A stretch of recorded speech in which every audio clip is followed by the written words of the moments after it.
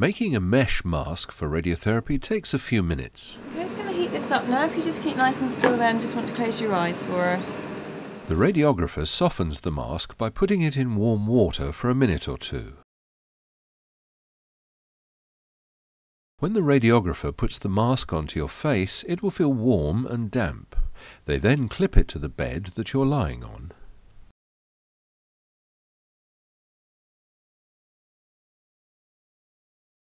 It takes a minute or two to dry into the shape of your face.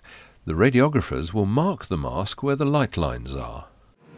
Okay, just going to feel us pressing down on the mask there now. Doing really well. You still okay in there? Mm-hmm. They use the marks on the mask to line up the machine each time you have treatment.